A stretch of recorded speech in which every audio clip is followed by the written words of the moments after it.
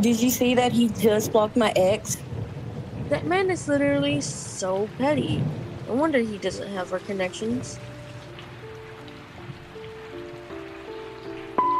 Hey Brat, this is Nebel. I'm leaving your voicemail to remind you to get your shit together. Still love you though, bestie. Hey. Hey Brat, it's Nebel again.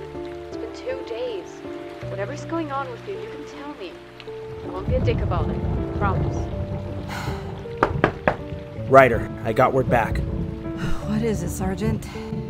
Your transfer to SpecGru has been approved. You'll be leaving KorTac next month.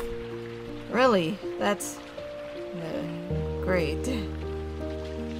I know it's a big change, but it really is a great opportunity for you.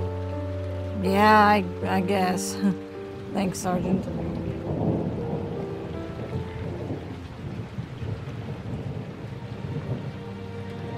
How? How could you do this?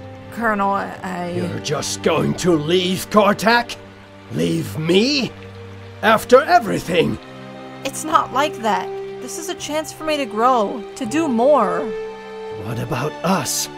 What about everything we've been through together? I thought we were a good match on the battlefield. We, we are, but. No, you're never leaving me.